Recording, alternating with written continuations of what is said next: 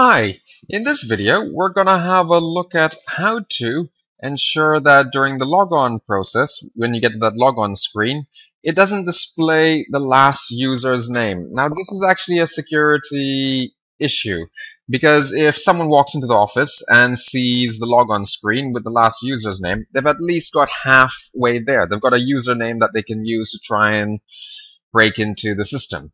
Okay, so for example, if Mr. Bubbles, okay, he's logged out, and then basically when he logged logged out, it'll show on the screen basically Mr. Bubbles, okay, and then it'll give a chance for you to enter a password in there. Okay, you don't want to see that Mr. Bubbles. So how do we do that? We go to local security policy, that's secpol.msc, S-E-C-P-O-L.msc.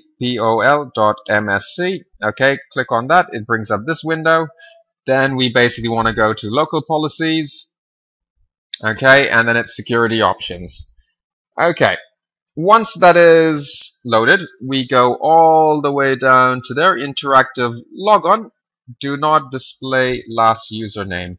Make sure that's clicked as enabled. Click OK. And then, if we were to sign out, okay, now, as you see, it doesn't say Mr. Bubbles over there, or it doesn't say any other username. So basically, it's a lot safer this way. So now, if someone's trying to break into the system, they need to work out a username themselves, and they also have to work out a password, rather than getting halfway there. Hope this helps. Thank you for watching.